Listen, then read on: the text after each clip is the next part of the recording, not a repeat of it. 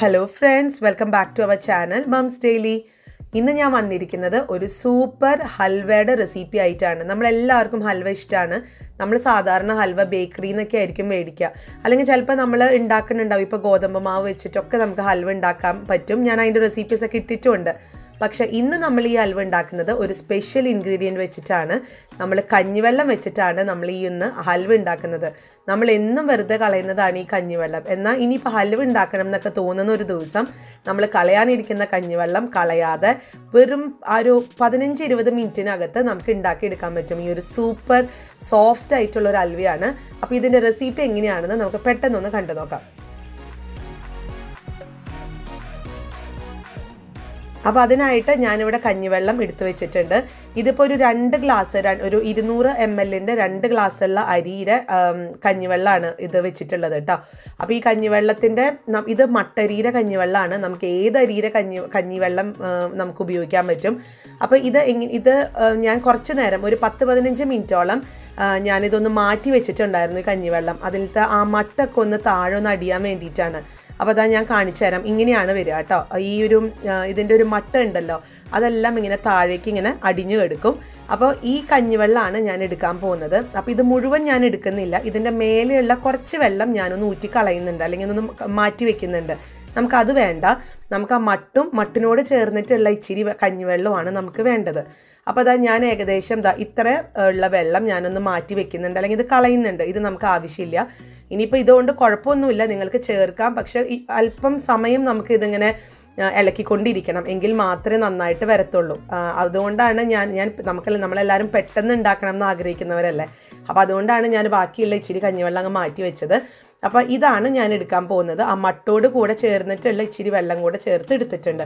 അപ്പോൾ ഈ കഞ്ഞിവെള്ളമാണ് നമ്മുടെ മെയിൻ ഇൻഗ്രീഡിയന്റ് എന്ന് പറയുന്നത്. ഇത് രണ്ട് മൂന്ന് നാലും ചേരുവകയൊന്നും ഇല്ല കേട്ടോ. ശരിക്കും പറഞ്ഞത് ഒരു മൂന്ന് ചേരുവക ഉണ്ടെങ്കിൽ നമുക്കിത് ഉണ്ടാക്കിയെടുക്കാൻ പറ്റും. അപ്പം ഞാനൊരു സ്പൂൺ വെച്ചിട്ട് ഒന്ന് പതുക്കെ ഒന്ന് ഇളക്കി കൊടുക്കുന്നുണ്ട്. ആ ഒരു മട്ടും ബാക്കിയുള്ള വെള്ളമൊക്കെ ഒന്ന് മിക്സ് ആവാൻ വേണ്ടിയിട്ടാണ് ഞാൻ ഇളക്കി കൊടുക്കുന്നത്. ഇനി ഇതിനകത്തോട്ട് നമുക്കൊരു കാര്യം ചേർക്കണം. എന്നാലാണ് ഇതിനൊരു പൂർണത വരത്തുള്ളൂ. അപ്പോൾ അതിന് മുന്നേ ഇതിന്റെ അളവ് ഞാൻ പറയാം. ഇതിപ്പോൾ ഞാൻ അളന്ന് ഒന്ന് നോക്കിയായിരുന്നു. ഏകദേശം രണ്ടര കപ്പോളം ഉള്ള കഞ്ഞിവെള്ളം ഞാൻ എടുത്തിട്ടുണ്ട്. ഒരു ഇരുന്നൂറ് എം എല്ലിന്റെ അളവിൽ രണ്ടര കപ്പോളം ഉള്ള വെള്ളം കഞ്ഞിവെള്ളം. ഇനി ഇതിനകത്തോട്ട് ഞാൻ ചേർക്കുന്നത് അര കപ്പോളം ഉള്ള അതായത് നൂറ് എം എൽ ഓളുള്ള ഗോതമ്പിന്റെ പൊടിയാണ് ഞാൻ ചേർത്ത് കൊടുക്കുന്നത്. ഇത് വറുത്തതോ വറുക്കാത്തതോ അങ്ങനെ ഒരു പ്രശ്നവുമില്ല. ഇത് വറുക്കാത്ത ഗോതമ്പ് പൊടിയാണ്. നമ്മൾ കടയിൽ നിന്നൊക്കെ മേടിക്കുന്ന പാക്കറ്റിൽ നിന്ന് മേടിക്കുന്ന ഗോതമ്പ് പൊടിയാണ്. അപ്പോൾ ഇത് ഞാൻ നേരിട്ട് തന്നെ ഈ കഞ്ഞിവെള്ളത്തിൽ ഞാൻ ഇട്ട് കൊടുക്കുന്നില്ല. അങ്ങനെ വരുമ്പോഴത്തേക്കും വലിയ വലിയ കട്ടകളായിട്ട് കിടക്കും.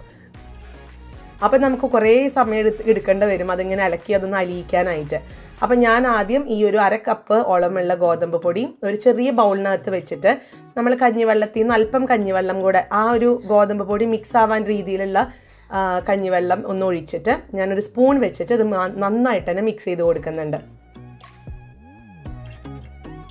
അപ്പോൾ അതാ ഞാനൊരു സ്പൂൺ വെച്ചിട്ട് നന്നായിട്ട് തന്നെ ഒന്ന് ഉടച്ചുടച്ച് നമ്മളൊന്ന് സ്പൂൺ വെച്ച് ഒന്ന് അമർത്തി കൊടുക്കണം കേട്ടോ. കാരണം ചിലപ്പം ഇച്ചിരി കട്ടകളൊക്കെ ഉണ്ടാവും. നമ്മളിങ്ങനെ ഇളക്കിയിട്ടുണ്ടെങ്കിൽ പോലും ഇച്ചിരിയും കൂടെ കട്ടൊക്കെ കെടുക്കുന്നുണ്ടാവും. അത് നമുക്ക് ലാസ്റ്റ് ഒന്ന് അരിക്കുന്നുണ്ട്. അത് ഞാൻ കാണിക്കാം.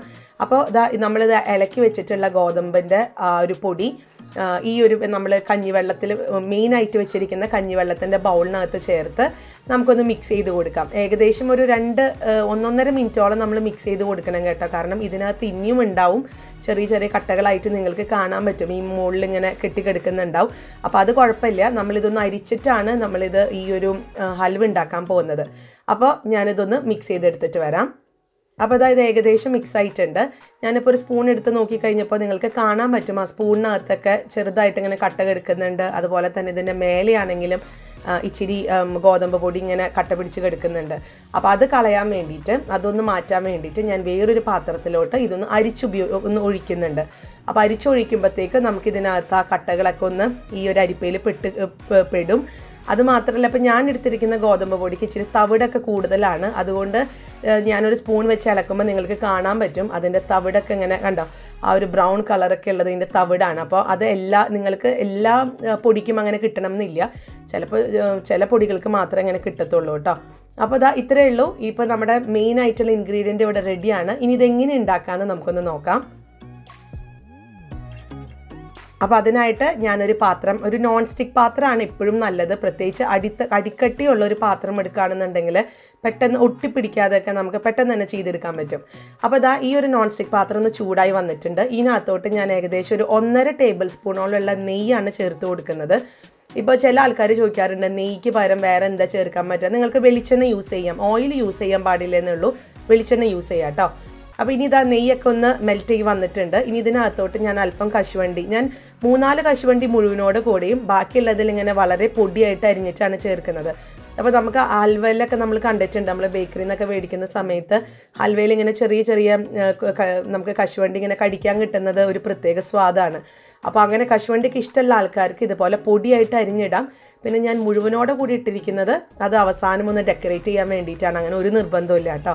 പിന്നെ ഇപ്പോൾ കപ്പലണ്ടിക്ക് ഈ ഒരു കശുവണ്ടിക്ക് പകരം നിങ്ങൾക്ക് കപ്പലണ്ടി ആണെങ്കിലും കപ്പലണ്ടിയൊക്കെ യൂസ് ചെയ്യാം. അതൊക്കെ നമ്മുടെ ഇഷ്ടമാണ് ഇനി ഇത് രണ്ടും ഇല്ല. കപ്പലണ്ടിയും കശുവണ്ടിയും ഒന്നും ഇല്ലെങ്കിൽ പോലും നമുക്കിത് ഒഴിവാക്കിയിട്ട് നമുക്ക് നമുക്കിത് ഉണ്ടാക്കാൻ പറ്റും. എന്നാലും നല്ല നല്ല സ്വാദുള്ള നല്ല സോഫ്റ്റ് ആയിട്ടുള്ള അലുവ തന്നെ നമുക്ക് കിട്ടും. അപ്പം ഞാനിതൊന്ന് ചെറുതായിട്ടൊന്ന് റോസ്റ്റ് ചെയ്തെടുത്തിട്ട് വരാം. അപ്പോൾ ഇതാ ഇവിടെ റോസ്റ്റ് ആയിട്ട് വന്നിട്ടുണ്ട്. ചെറുതായിട്ടൊക്കെ നിറം മാറിയിട്ടുണ്ട്. അത്രയും മതിയാവും. നമുക്ക് ഒത്തിരി അങ്ങ് മൂപ്പിച്ചെടുക്കൊന്നും വേണ്ട. ഞാനിപ്പോൾ ഇതൊരു പാത്രത്തിലോട്ടൊന്ന് മാറ്റിയെടുക്കുന്നുണ്ട്. ഇനി ഇതേ പാത്രത്തിൽ തന്നെയാണ് നമ്മൾ ബാക്കിയുള്ള കാര്യം ചെയ്യുന്നത്. അപ്പോൾ അതുകൊണ്ട് ആ നെയ്യ് അവിടെ കിടന്നോട്ടെ. സെപ്പറേറ്റ് ആയിട്ട് നെയ്യ് ഒഴിക്കേണ്ട ഒഴിക്കേണ്ട കാര്യമൊന്നുമില്ല. ഇനിയിപ്പോൾ നെയ്യ് ഇല്ലെങ്കിലും കുഴപ്പമില്ല. ഉള്ള നെയ്യ് ഇനി വലുതുണ്ടെങ്കിൽ അതവിടെ കിടന്നോട്ടെ കേട്ടോ. അത് മാറ്റണ്ട. അപ്പോൾ ഇനി ഇതിനകത്തോട്ടാണ് ബാക്കിയുള്ള കാര്യം ചെയ്യുന്നത്. ഇപ്പം ഞാൻ ഈ കശുവണ്ടി കോരി എടുക്കുമ്പോൾ നിങ്ങൾക്ക് കാണാം. ഇച്ചിരി കശുവണ്ടി അതിനകത്ത് കെടുപ്പുണ്ട്. അത് കുഴപ്പമൊന്നുമില്ല. അത് നമ്മുടെ ഈ എടുക്കുന്ന ഗോതമ്പ് അൽവയിൽ എന്താണെങ്കിലും അവസാനം വരെ ആവുമ്പോഴത്തേക്കും ഇതെല്ലാം കൂടെ മിക്സ് ആയിക്കോളും. അപ്പോൾ അതവിടെ കിടക്കട്ടെ. ഇനി ഇതിനകത്തോട്ട് ഞാൻ നമ്മൾ കലക്കി വെച്ചിരിക്കുന്ന നമ്മുടെ ഗോതമ്പിന്റെ ആ ഒരു വെള്ളം ഞാൻ ചേർത്തു. കഞ്ഞിവെള്ളം ഞാൻ ചേർത്ത് കൊടുക്കുകയാണ് അപ്പോൾ ഈ കഞ്ഞിവെള്ളത്തിൽ നമ്മൾ ഗോതമ്പ് പൊടി ചേർത്തത് കൊണ്ട് നമ്മൾ ഇച്ചിരി നേരം മാറ്റി വെച്ചതുകൊണ്ട് അതായത് ഈ ഒരു കശുവണ്ടി വറക്കാൻ വറ- വറക്കുന്നത് വരെ നമ്മൾ മാറ്റി വെച്ചിട്ടുണ്ടായിരുന്നല്ലോ. അപ്പോൾ അതുകൊണ്ട് ഈ ഗോതമ്പിന്റെ മട്ട് അടിയാൻ സാധ്യതയുണ്ട്. അപ്പോൾ ചെറുതായിട്ടൊന്ന് ഇലക്കി കൊടുത്തിട്ട് നമുക്കിതൊന്ന് ഒഴിച്ചു കൊടുക്കാം.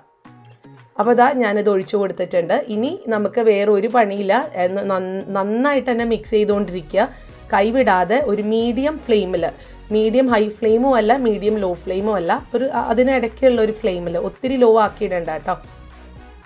എന്നിട്ട് നമുക്കിതാ ഒരു ഞാനൊരു സ്പാച്ചിലാണ് എടുത്തിരിക്കുന്നത് അത് നമുക്ക് കൈവിടാതെ തന്നെ ഇളക്കാം നമുക്ക് ഗോതമ്പ് പൊടിയാണ് ഇതിനകത്ത് കുറുകാനായിട്ട് ഹെൽപ്പ് ചെയ്യുന്നത്. ഇനിയിപ്പോൾ ഗോതമ്പ് പൊടിക്ക് പകരം നിങ്ങൾക്ക് അരിപ്പൊടി ആണെങ്കിലും യൂസ് ചെയ്യാം. പക്ഷെ സെയിം അളവ് യൂസ് ചെയ്യണമെന്ന് മാത്രം. അര കപ്പ് എന്നുള്ളത്. അപ്പോൾ രണ്ടര കപ്പിന് അര കപ്പോളം ഉള്ള ഗോതമ്പ് പൊടി അല്ലെങ്കിൽ അരിപ്പൊടി നിങ്ങൾക്ക് ചേർക്കാം. ഇനിയിപ്പോൾ ഇത് രണ്ടും ഇല്ലെങ്കിൽ നിങ്ങൾക്ക് കോൺഫ്ലവർ വീട്ടിലുണ്ടെന്നുണ്ടെങ്കിൽ കോൺഫ്ലവർ ആണെങ്കിലും ചേർക്കാം. അപ്പോൾ കഞ്ഞിവെള്ളമാണ് കൂടുതലായിട്ട് നിൽക്കേണ്ടത്. അപ്പോൾ ഇനി നമുക്കൊന്ന് അലക്കിക്കൊണ്ടേ ഇരിക്കാം. നമുക്ക് നോക്കാം എങ്ങനെയാണ്. ഇത് പതുക്കെ ഒന്ന് കുറുകാൻ തുടങ്ങും.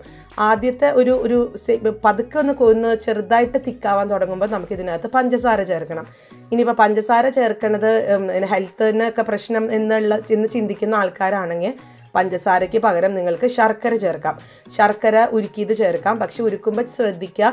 അല്പം വെള്ളത്തിൽ മാത്രം ശർക്കര ഉരുക്കുക. എന്നിട്ട് നമുക്ക് ആ ശർക്കര പാനി ഒഴിച്ചു കൊടുക്കാം. അല്ലാന്നുണ്ടെങ്കിൽ വെള്ളം ഒത്തിരി കൂടിപ്പോവും. നിങ്ങൾക്ക് ഒത്തിരി നേരം ഇളക്കി നിൽക്കേണ്ടി വരും. ഒത്തിരി സമയം എടുത്താലാണ് നമുക്കൊരു ഹൽവയുടെ ഒരു ഒരു കൺസിസ്റ്റൻസിയിലോട്ട് കിട്ടത്തുള്ളൂ. അപ്പോൾ ശർക്കര എടുക്കുന്നവർ സൂക്ഷിച്ച് വളരെ കുറച്ച് വെള്ളത്തിൽ ശർക്കര ഒന്ന് ഉരുക്കിയെടുക്കാൻ നോക്കണം. അപ്പോൾ ഞാനിതൊന്ന് ഇളക്കി എടുത്തിട്ട് വരാം. അപ്പോൾ ഇതിവിടെ ഏകദേശം ഒരു അഞ്ച് മിനിറ്റോളം കഴിഞ്ഞിട്ടുണ്ട്. കണ്ടോ നമ്മൾ നേരത്തെ ഒഴിച്ച പോലെയല്ല നമ്മുടെ ഈ ഒരു ഹൽവയുടെ മിക്സ് ചെറുതായിട്ടൊന്ന് കുറുകി വരാൻ തുടങ്ങിയിട്ടുണ്ട്. നമ്മൾ മീഡിയം ഫ്ലെയിമിൽ തന്നെയാണ് മാറ്റിയിട്ടൊന്നുമില്ല. അപ്പോൾ ഇനി ഈ ഒരു കുറുകി വരുന്ന സമയത്ത് ഞാൻ പറഞ്ഞ പോലെ നമുക്ക് പഞ്ചസാര ചേർത്ത് കൊടുക്കണം. അപ്പോൾ അതിന് മുന്നേ കുറച്ച് ഒന്ന് കുറുകാൻ വേണ്ടിയിട്ട് നമുക്കൊരു ഒരു മിനിറ്റ് അപ്പോൾ അത് അവിടെ ഒരു മിനിറ്റോളം കൂടെ ഞാൻ ഇളക്കി കൊടുത്തിട്ടുണ്ടായിരുന്നു. ഇതിന്റെ അരുന്നൊക്കെ കണ്ടോ അരുവത്തു നിന്നൊക്കെ പതുക്കെ ബബിൾസ് ഒക്കെ വരുന്നുണ്ട്. അപ്പോൾ നമുക്ക് ഇതിനകത്ത് ഈ ഒരു സമയത്ത് ഞാൻ അര കപ്പോളം ഉള്ള പഞ്ചസാരയാണ് ചേർത്ത് കൊടുക്കുന്നത്. പൊടിക്കാത്ത പഞ്ചസാരയാണ്. നിങ്ങൾക്ക് ഇനി ശർക്കര ചേർക്കുകയാണെന്നുണ്ടെങ്കിൽ നേരത്തെ പറഞ്ഞ പോലെ ഈ ഒരു സമയത്ത് ശർക്കരപ്പാനി ചേർത്ത് കൊടുക്കാം. വെള്ളം വളരെ കുറച്ചിട്ടുള്ള ശർക്കരപ്പാനി ചേർത്ത് കൊടുക്കാൻ പ്രത്യേകം ശ്രദ്ധിക്കണം. അപ്പോൾ ഇതാ ഇനി ഇത് ഒന്നും കൂടെ നമുക്ക് മിക്സ് ചെയ്ത് കൊടുക്കാം. നമുക്ക് ഇതിനകത്ത് നെയ്യ് ചേർത്ത് കൊടുക്കുന്നുണ്ട്. അല്ലെങ്കിൽ നിങ്ങൾക്ക് വെളിച്ചെണ്ണ വേണമെന്നുണ്ടെങ്കിൽ വെളിച്ചെണ്ണ ചേർക്കാം. ഞാൻ ഈ ഒരു ഹൽവ ഉണ്ടാക്കിയപ്പോൾ നെയ്യ് വളരെ കുറച്ച് ചേർത്ത് ഉണ്ടാക്കാനാണ് ഞാൻ നോക്കിയിട്ടുണ്ടായിരുന്നത്. അപ്പോൾ അതുകൊണ്ട് ഞാൻ മൂന്ന് ടേബിൾ സ്പൂണോളമുള്ള നെയ്യാണ് യൂസ് ചെയ്തിട്ടുള്ളത്. ഇനി നിങ്ങൾക്ക് ഹൽവയാണ് നമുക്ക് കുറച്ച് നെയ്യൊക്കെ കൂടുന്തോറും ഹൽവയ്ക്ക് ടേസ്റ്റ് കൂടും എന്നറിയാം അപ്പം നിങ്ങൾക്ക് ഇഷ്ടമാണെന്നുണ്ടെങ്കിൽ മൂന്നെന്നുള്ളത് നാലോ അഞ്ചോ ഒക്കെ ചേർക്കാം. ഞാൻ മൂന്ന് ടേബിൾ സ്പൂണാണ് ചേർക്കുന്നത്. ഇനിയിപ്പോൾ രണ്ട് ടേബിൾ സ്പൂൺ വെച്ചിട്ടാണെങ്കിൽ നമുക്ക് ഉണ്ടാക്കിയെടുക്കാൻ പറ്റും കേട്ടോ. അപ്പോൾ അതാ ഞാനത് ഒന്നും കൂടി ഒന്ന് കുറുകി വരുന്നത് വരെ ഒന്ന് ഇളക്കി കൊടുത്ത കൊടുക്കുവാണ്. ഇതാ ഇപ്പൊ കാണാൻ വേണ്ടോ ഇപ്പൊ ഒന്നും കൂടെ ഒന്ന് കുറുകി വന്നിട്ടുണ്ട്. ഇതിന് ഇത് പെട്ടെന്ന് പെട്ടെന്ന് ഇതിനകത്തുനിന്ന് ആ എന്താ പറയുക ബബിൾസ് ഒക്കെ വരാൻ തുടങ്ങിയിട്ടുണ്ട്. നമുക്കിനി ഈ ഒരു സമയത്ത് നമുക്ക് പതുക്കെ നെയ്യ് ചേർത്ത് കൊടുക്കാം. അപ്പോൾ ഇതിന്റെ അരുവത്ത് നിന്നൊക്കെ ഇങ്ങനെ ചെറുതായിട്ട് ഇങ്ങനെ ഒട്ടിപ്പിടിച്ചൊക്കെ ഇരിക്കും കേട്ടോ. അതിങ്ങനെ നമുക്കൊരിങ്ങനെ ഉണങ്ങിയൊക്കെ ഇരിക്കും. അപ്പോൾ അതുകൊണ്ട് അതും കൂടെ നമ്മൾ വടിച്ച് ഈ ഒരു കയ്യിൽ വെച്ചിട്ടോ തവ വെച്ചിട്ടോ നമ്മൾ നന്നായിട്ട് തന്നെ അതിങ്ങനെ നമ്മളൊന്ന് വടിച്ചെടുക്കണം. എന്നിട്ട് ഈ മിക്സിനകത്ത് ചേർത്തിട്ട് വേണം എടുക്കാനായിട്ട്. അപ്പോൾ അതെപ്പോഴും ശ്രദ്ധിക്കണം. അല്ലെന്നുണ്ടെങ്കിൽ ഇതിന്റെ സൈഡുകളിലൊക്കെ ഇതിങ്ങനെ പറ്റി പിടിച്ച് പറ്റി പിടിച്ചിരിക്കും. അപ്പോൾ അത് ഒഴിവാക്കാനായിട്ടാണ് നമ്മളിതൊന്ന് സൈഡും കൂടെ ചേർത്ത് ഒന്ന് വടിച്ചെടുക്കുന്നത്. അപ്പോൾ ഇനി ഇതിനകത്തോട്ട് ഞാൻ ആദ്യത്തെ ഒരു ടേബിൾ സ്പൂണോളമുള്ള നെയ്യ് ചേർത്ത് കൊടുക്കുകയാണ്. നമ്മൾ നെയ്യ് ചേർത്ത് കൊടുക്കുന്തോറാണ് അൽവ നല്ല സോഫ്റ്റ് ആയിട്ടും നല്ല ടേസ്റ്റ് ആയിട്ടും വരിക. അപ്പോൾ ഈ ആദ്യം നമ്മൾ നെയ്യ് ഒഴിച്ച് കൊടുക്കുമ്പോൾ ഒരു രണ്ട് മിനിറ്റോളം നമുക്ക് ഈ നെയ്യ് ഇങ്ങനെ മുകളിൽ ഇങ്ങനെ തെളിഞ്ഞ് നിൽക്കുന്നത് കാണാം. പിന്നീട് നമ്മൾ ഇളക്കി കൊടുക്കുന്തോറും അത് പതുക്കെ പതുക്കെ അത് ആ ഒരു മുകളിൽ കെട്ടിക്കിടക്കുന്നത് ഇല്ലാതായിട്ട് ഈ ഒരു നെയ്യെല്ലാം അതായത് നമ്മുടെ ഈ മിക്സ്ചറെല്ലാം നെയ്യെല്ലാം കുടിച്ച് പതുക്കെ നെയ്യ് ഇങ്ങനെ സൈഡുകളിലൊക്കെ തെളിഞ്ഞു വരുന്നത് കാണാം. ആ ഒരു സമയത്ത് നമുക്ക് രണ്ടാമത്തെ ടേബിൾ സ്പൂണോളമുള്ള നെയ്യ് ഒഴിച്ചു കൊടുക്കാം. അപ്പോൾ അത് അവിടെ ഒരു രണ്ട് മിനിറ്റും കൂടെ ഞാൻ ഇളക്കി കൊടുത്തിട്ടുണ്ടായിരുന്നു. ഇനി നമുക്ക് രണ്ടാമത്തെ ടേബിൾ സ്പൂണോളുള്ള നെയ്യൊന്ന് ഒഴിച്ചു കൊടുക്കാം. എന്നിട്ട് നമുക്ക് വീണ്ടും ഇളക്കിക്കൊണ്ടേയിരിക്കാം.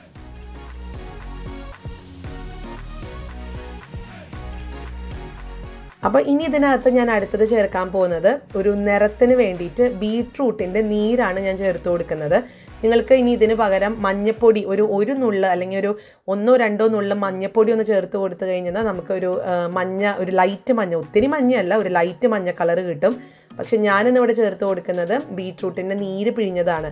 അതൊന്നുമല്ല ബീട്രൂട്ടിന്റെ ഒരു ചെറിയ കഷ്ണം നമ്മൾ ഒന്ന് വെള്ളത്തിലൊന്ന് വേവിച്ചിട്ട് അതിന്റെ ആ ഒരു വേവിച്ചിട്ട് നമ്മൾ വേവിച്ചെടുത്ത ആ ബീട്രൂട്ട് ചെറുതായിട്ടൊന്ന് ഒന്ന് പിഴിഞ്ഞു കഴിഞ്ഞാൽ അല്ലെങ്കിൽ ഒന്നിലെ മിക്സിയിൽ നമുക്ക് അടിക്കാം. അല്ലാന്നുണ്ടെങ്കിൽ കൈ കൊണ്ടൊന്ന് ചെറുതായിട്ടൊന്ന് പിഴിഞ്ഞെടുത്ത് കഴിഞ്ഞാൽ നമുക്ക് അതിന്റെ ഒരു നീര് കിട്ടും. ആ നീരാണ് ഞാനിപ്പോൾ ചേർത്തിട്ടുള്ളത്. ഇതാകുമ്പോൾ വളരെ നാച്ചുറലാണ് ഓർഗാനിക്കാണ് അപ്പോൾ നിങ്ങൾക്ക് അങ്ങനെ ചെയ്യാം. അല്ലെങ്കിൽ അതിന് പകരം ഈ പറഞ്ഞ പോലെ മഞ്ഞപ്പൊടി ചേർക്കാം. ഇനി അതുമല്ല നിങ്ങളിപ്പം ഈ ഒരു ശർക്കര ചേർക്കുവാണെന്നുണ്ടെങ്കിൽ നമുക്ക് ഈ ഒരു കളറിൽ കിട്ടും കേട്ടോ. അപ്പോൾ ഇനി ഇതിനകത്തോട്ട് ഞാൻ കശുവണ്ടിയാണ് ചേർക്കാൻ പോകുന്നത്. നമ്മൾ വറുത്ത് വെച്ചിരിക്കുന്ന കശുവണ്ടി. അതിനകത്ത് വലിയ കശുവണ്ടി ഞാൻ ഭംഗിക്ക് കിട്ടാൻ വേണ്ടിയിട്ട് ലാസ്റ്റ് ചേർക്കാൻ വേണ്ടി മാറ്റി വെച്ചിട്ടുണ്ട്. ബാക്കിയുള്ള കശുവണ്ടി നമുക്ക് ഇതുപോലെ ഒന്ന് പൊടി പൊടിയായിട്ട് അരിഞ്ഞിട്ടുള്ളത് ഒന്ന് ചേർത്ത് കൊടുക്കാം. പിന്നെ ഇച്ചിരി ഞാൻ മാറ്റി വെച്ചിട്ടുണ്ട്. അത് ഞാൻ ലാസ്റ്റ് ഒന്ന് ഡെക്കറേറ്റ് ചെയ്യാൻ വേണ്ടിയിട്ട് മാത്രമാണ് അപ്പോൾ ഇനി ഈ ഒരു കശുവണ്ടിയും കൂടെ ചേർത്തിട്ട് നമുക്കൊന്ന് ഇളക്കിക്കൊണ്ടേയിരിക്കാം. ഇതൊരു ഏകദേശം ഒരു ഇരുപത്തഞ്ച് മിനിറ്റോളം എനിക്ക് എടുത്തു കേട്ടോ. ഇതൊരു കറക്റ്റ് ഒരു പരുവം വരാനായിട്ട്. അപ്പോൾ ഇത് എങ്ങനെയാണ് എങ്ങനെയാ ഇതിന്റെ പരുവെന്ന് പറഞ്ഞു കഴിഞ്ഞാൽ ഈ ഒരു മാവ് ഈ ഒരു ഹൽവ ഈ ഒരു പാത്രത്തിൽ ഓടിക്കളിക്കണം അതായത് എവിടെയും ഒട്ടിപ്പിടിക്കാതെ വളരെ ലൂസായിട്ട് നമുക്ക് കിട്ടണം. ലൂസ് എന്ന് പറഞ്ഞാൽ നമ്മുടെ ഹൽവ തിക്കായിട്ട് തന്നെയാണ്. പക്ഷേ വളരെ ഫ്രീ ആയിട്ട് നമ്മുടെ പാത്രത്തിൽ ഒഴുകി അങ്ങോട്ടും ഇങ്ങോട്ടും പോകണം അതാണ് ഇതിന്റെ ഒരു പരിവം. അപ്പോൾ ആ ഒരു ഇത് കിട്ടുന്നത് വരെ നമുക്ക് ഇളക്കിക്കൊണ്ടിരിക്കാം. പിന്നെ വേറൊരു കാര്യം കൂടെ ഈ ഒരു സമയത്ത് നിങ്ങൾക്ക് ഏലക്ക പൊടിച്ചത് ചേർക്കാം. ഞാൻ ഏലക്ക പൊടിക്കുന്നത് ഞാൻ ചേർക്കാൻ പൊടിച്ച് വെച്ചു പക്ഷെ ചേർക്കാൻ ഞാൻ മറന്നുപോയി. അപ്പോൾ അതുകൊണ്ട് ലാസ്റ്റാണ് ഞാൻ ഏലക്കപ്പൊടി ചേർക്കുന്നത്.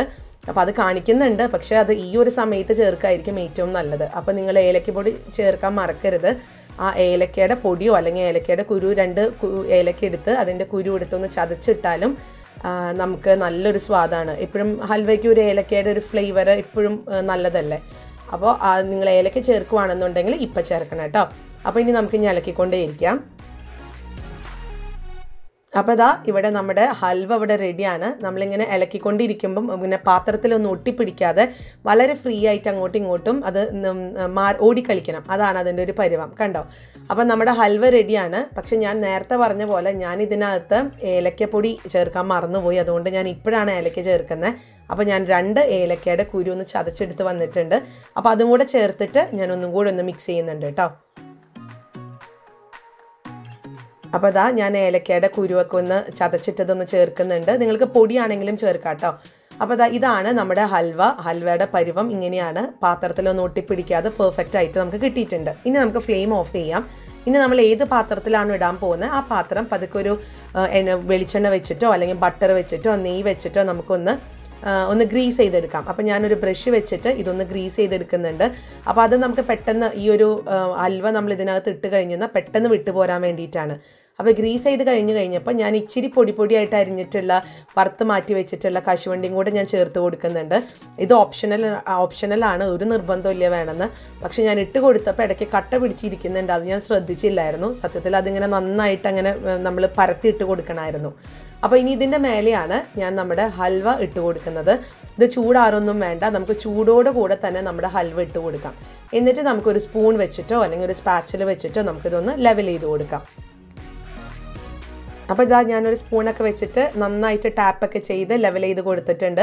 ഇനി ഞാൻ നേരത്തെ മാറ്റി വെച്ചിട്ടുള്ള നമ്മുടെ വറുത്ത വലിയ കശുവണ്ടികൾ ഇതുപോലെ ഒന്ന് വെച്ച് കൊടുക്കുന്നുണ്ട്. ഇത് ഇതും ഒക്കെ ഒരു ഭംഗിക്ക് വേണ്ടിയിട്ടാണ് കേട്ടോ. വീഡിയോയ്ക്ക് എടുക്കാൻ വേണ്ടി മാത്രമാണ് ഇത്രയും കശുവണ്ടിയുടെ ആവശ്യമൊന്നുമില്ല. നമ്മൾ പൊടിയായിട്ട് അരിഞ്ഞത് വറുത്ത് മാറ്റിയതൊന്ന് ചേർത്താൽ മാത്രം മതിയാവും. അപ്പോൾ ഇനി കശുവണ്ടി ഇങ്ങനെ ചേർക്കുന്നവരാണെങ്കിൽ നമ്മൾ ചേർത്തതിന് ശേഷം പതുക്കെ ഒന്ന് പ്രസ് ചെയ്ത് അതൊന്ന് ടൈറ്റായിട്ട് ഇരിക്കാൻ വേണ്ടിയിട്ട് ഒന്ന് പ്രസ് ചെയ്ത് കൊടുക്കണം. എന്നിട്ട് ഇതൊരു ഒരു അഞ്ച് മിനിറ്റ് നമുക്കൊന്ന് മാറ്റി വയ്ക്കാം ഇതൊന്ന് സെറ്റ് ആവാൻ വേണ്ടിയിട്ട്. എന്നാലാണ് നമുക്ക് നല്ല ആ ഒരു നമ്മൾ ഒഴിച്ച പാത്രത്തിന്റെ ആ ഒരു ഷേപ്പിലൊക്കെ നമുക്ക് കിട്ടത്തുള്ളൂ. അപ്പോൾ നമുക്കൊരു അഞ്ച് മിനിറ്റ് കഴിഞ്ഞിട്ടൊന്ന് നോക്കാം.